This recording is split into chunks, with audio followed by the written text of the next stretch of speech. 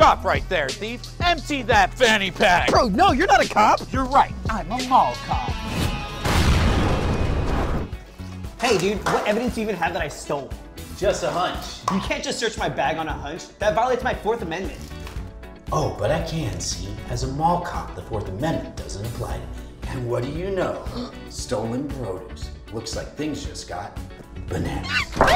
Thanks for searching that guy. We would have never been able to search him ourselves because you know that Fourth Amendment stuff. But since you found the banana, we can use it as evidence. Happy to serve the force. Let's go, scumbag. It was only one banana! Uh-huh.